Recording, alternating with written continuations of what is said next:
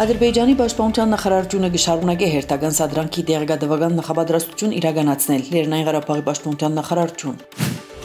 Սեպտեմբեր 9-ին Լեռնային Ղարաբաղի ասկային ժողովի հadoop նիստ պիտի գումարվի նախագահի տեխնազուն Սամվել Շահրամանյանն է։ Լեռնային Ղարաբաղի ասկային անվտանգության ծառայությունը հայտարարած է, որ սահմանադրական ղարքի դաբալման սպառնալիքներու բարակային պատրաստ է վճռական գործողություններով։ Շրջապագման ընթացքին Լեռնային Ղարաբաղի տնտեսության հասցված է մոտ 515 միլիոն դոլարի վնաս։ Կարմիր խաչի միջոցով 10 փուժարու Լեռնային Ղարաբաղին Հայաստան տեղափոխված է։ Երթուղիներու բացումն ու ուղիղ բանակցությունները առանցքային են չլուծված խնդիրները լուծելու համար Յուրի Կիմը Բայրամովին։